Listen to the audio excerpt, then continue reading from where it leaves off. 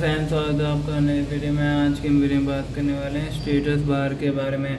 जैसे कि हम स्टेटस बार सेटिंग को किस तरीके से यूज़ कर सकते हैं, इसके बारे में बात करने वाला। तो चलिए फैंस वीडियो को शुरू करते हैं।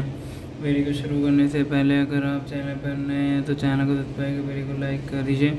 फ़ैन जैसे कि आप देख सकते हैं, मेरे पास ये ओप्पो का फ़ोन है और आपको सबसे पहले सेटिंग पर जाना है तो क्लिक कर लेंगे फ़ैन सेटिंग पर।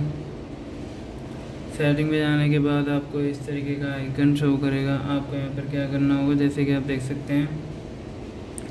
थोड़ा सा ऊपर की साइड स्क्रॉल करना है और यहाँ पे आपको क्या करना होगा नोटिफिकेशन स्टेटस बार पे जाना है और आपको इस तरीके से आइकन शो करेगा। आपको यहाँ पर देखने के लिए मिलता है, जैसे कि आप देख सकते हैं। स्टेटस बार तो इस पर क्लिक करेंगे।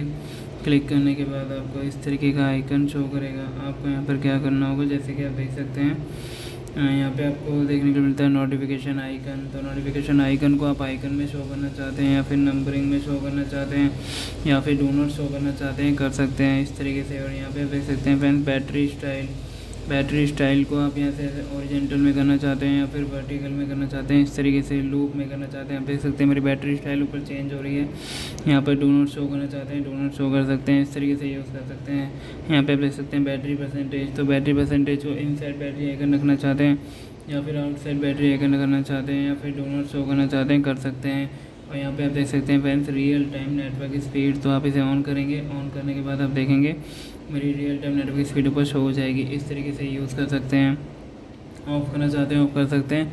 तो उम्मीद है फ़ैन वीडियो पसंद आएगी। वीडियो पसंद आए तो चैनल को सब्सक्राइब कर वीडियो को लाइक कर दीजिए। मिलते हैं नेक्स्ट वीडियो में। तब तक के लिए नमस्कार। अगर आपको कोई भी जानकारी चाहिए पीसी से रिलेटेड या फिर फ़ोन से रिलेटेड तो आप हमें कमेंट भी कर सकते हैं। मिलते हैं नेक्स्ट वीडियो में। तब तक के लिए बाय बाय गाइस